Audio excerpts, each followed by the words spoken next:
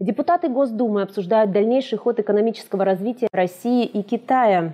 Участником заседания депутатской группы по связям со Всекитайским собранием народных представителей стал депутат Госдумы Александр Щербаков. Главная цель заседания – обсуждение дальнейшего экономического развития, стратегического сотрудничества и защита суверенитета России и Китая. Как подчеркнул Александр Владимирович, для нашей страны это сотрудничество остается одним из главных векторов внешней политики. Депутатская группа ведет работу по развитию обмена законодательным опытом. Это касается торговли, финансовых расчетов в национальных валютах, совместных инвестиций, инвестиций, мер по защите гражданского общества от внешнего вмешательства, защиты суверенитета страны, традиционных ценностей и культур. По итогам состоявшегося заседания было отмечено, что все предложения, высказанные членами депутатской группы Государственной Думы, проработают для планирования деятельности группы. Кроме того, будут активизированы контакты по линии профильных комитетов парламентов России и Китая.